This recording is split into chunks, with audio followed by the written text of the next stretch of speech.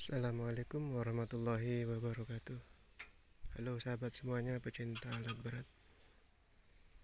Video kali ini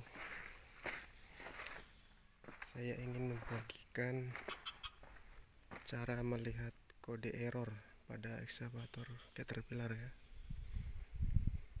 320D Karena alat ini sudah full elektrik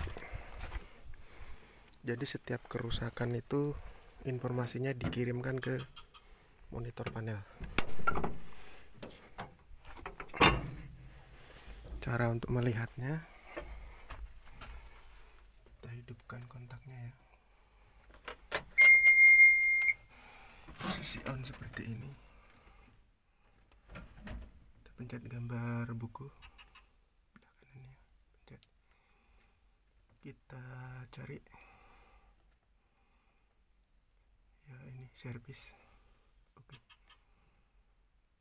Kita masukkan pasportnya triple F. Ini ya F ya. Triple F tiga kali itu dua tiga. Terus angka dua. Oke.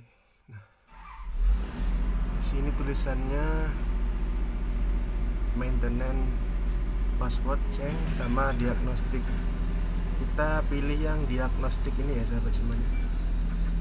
Kita pencet oke OK. nah di sini tertulis aktif error. Aktif error aktif event ya.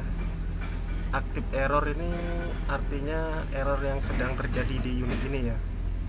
Sedangkan aktif event adalah error error-error yang sudah tersimpan di monitor panel ya sahabat.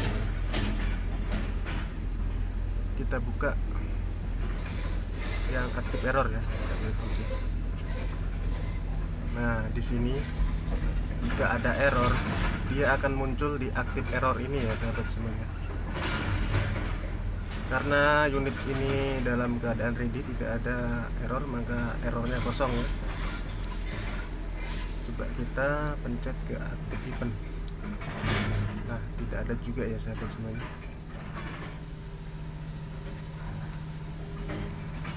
Oke sahabat semuanya semoga bermanfaat. Jangan lupa like and share ya. Sekian. Assalamualaikum warahmatullahi wabarakatuh